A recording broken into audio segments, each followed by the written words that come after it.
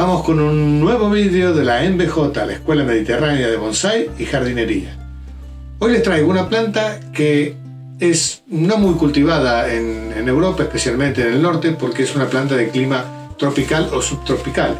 Y es originaria del continente americano, desde el sur de Estados Unidos, en Florida, y abarca hasta Argentina en las partes eh, más cálidas.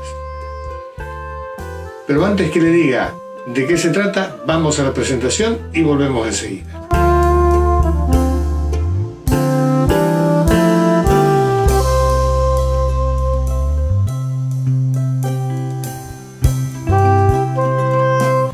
El nombre de esta planta es Duranta o jazmín Duranta, pese a que no es un jazmín.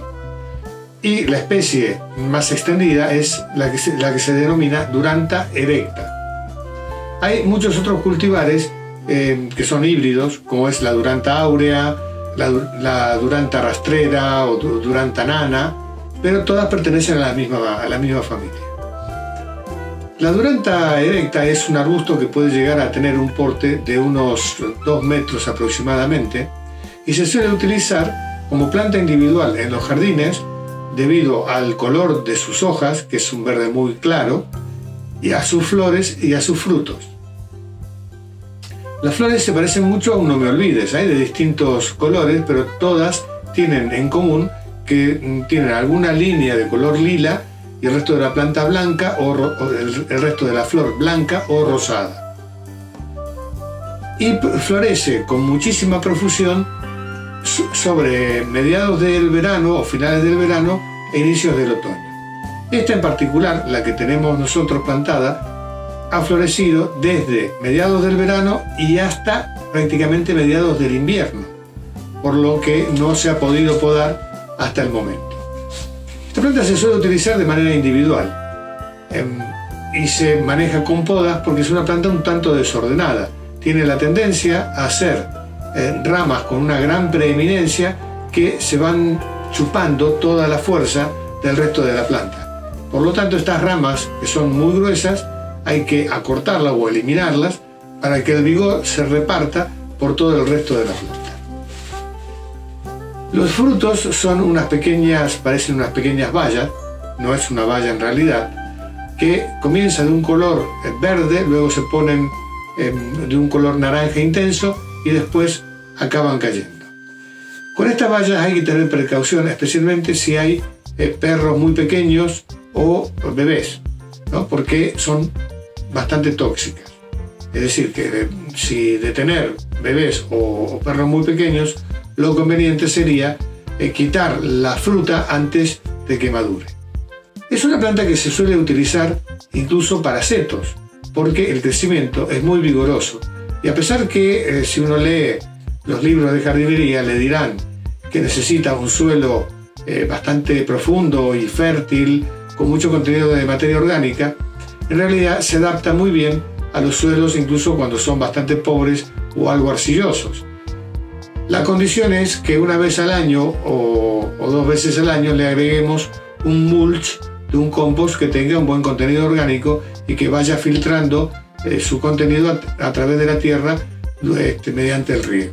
Otro punto destacable de, esta, de este arbusto es que si bien se suele decir que necesita pleno sol, nosotros aquí lo tenemos en una situación de semisombra, con muy pocas horas de sol al día en invierno y bastantes horas de sol en pleno verano.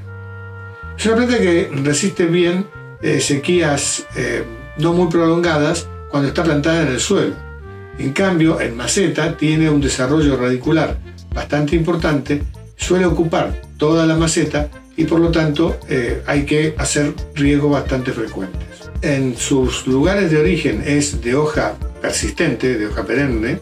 En climas como este, el Mediterráneo, en los cuales, si bien no tenemos inviernos muy fuertes, puede que haya unos, unas dos semanas o tres semanas en el invierno en que las temperaturas bajen mucho o hiele, y en ese caso se comporta como de hoja semicaduca, es decir, la hoja eh, se marchita o se quema y se cae. Lo cual no indica que la planta se vaya a morir, sino que va a ser un recambio de hojas como esta que comienza ya a brotar otra vez a inicios de la primavera. ese es el momento idóneo para eh, eliminar las ramas o acortar las ramas que tienen demasiado vigor y poder ordenar la planta formando un, seto o formando una, bola eh, como arbusto. La duranta es bastante sencilla de reproducir. Se puede reproducir eh, por semillas, aunque las semillas no son fáciles de germinar, pero podemos utilizar lo que ustedes ya conocen, que es el método del pájaro. ¿no? Si no han visto los vídeos que hemos hecho para germinar piracanta, se los dejo aquí. Y el otro, y el otro punto, ah, con respecto a la, a la fruta, a pesar de que son tóxicas para algunos animales y para el ser humano, no cuando el ser humano es adulto, y además son amargas, es muy difícil que alguien se las coma, em, pero hay algunos pájaros que se alimentan específicamente de este, de este fruto. Es decir, que es tóxica para algunos, pero no para otros. El otro sistema de reproducción de la duranta es por esquejes, es bastante sencillo también. Nosotros ahora cuando estemos, cuando acabemos de podarla, no vamos a utilizar los esquejes porque estamos, claro, a inicios de primavera. Por lo tanto, es demasiado tarde para utilizar esquejes del año anterior y es demasiado temprano para utilizar los brotes nuevos. Así que vamos a desechar las ramas que quitemos, pero si quieren reproducirla, que es muy muy sencillo, eh, utilicen ramas del año y háganlo hacia mediados o finales del verano. Sale con muchísima facilidad y se puede plantar en el jardín o se puede plantar en una maceta. Todas las, variedades que no son esta, la duranta erecta, tienen una floración menor, especialmente la duranta áurea. Como la, hoja es prácticamente amarilla, eh, la cantidad de flores que da es muy pequeña hasta que la planta se hace mm, muy grande o muy adulta. Y suelen tener, tanto la duranta áurea como la duranta erecta, suelen hacer cuando son ya grandes, cuando son viejas, suelen hacer espinas en la base de las hojas. La duranta tiende, eh, con el tiempo, a ser algo péndula, se arquea las ramas y las flores salen siempre en los extremos de las ramas. Por eso, si usted quiere flores y, tiene la duranta en un seto, no es conveniente hacerles las podas habituales que se hacen a cualquier seto, es decir, a mediados de primavera y pasado el, a, inicio de verano y eh, a mitad de verano. ¿Por qué? Porque eh, de esa manera lo que se haría sería eliminar las ramas jóvenes, las ramas del año, que son las que producen toda la floración. Por eso, si usted quiere una duranta que le dé una gran cantidad de flores, pódela a inicios de la primavera, antes que empiece a rebrotar, y después déjela durante todo el tiempo libre. Es cierto que hará, si es para un seto, hará un seto un tanto desordenado, pero también la piracanta es un seto muy desordenado y la solemos utilizar. Mucha gente por ahí se queja de que, ah, sí, pero es que a mí el duranta me florece poco. Puede ser precisamente por esta razón, y es que las, todas las flores se producen en las ramas terminales, igual que los frutos.